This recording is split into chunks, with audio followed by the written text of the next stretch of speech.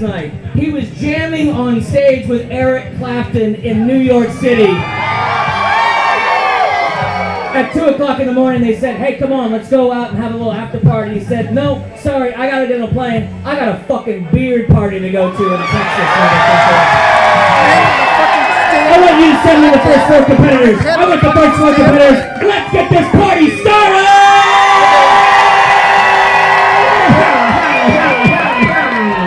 We're bringing them up, we're bringing them up, we're bringing them up, we're bringing them up. Gentlemen, you'll see the X's underneath your feet when we get ready to get started.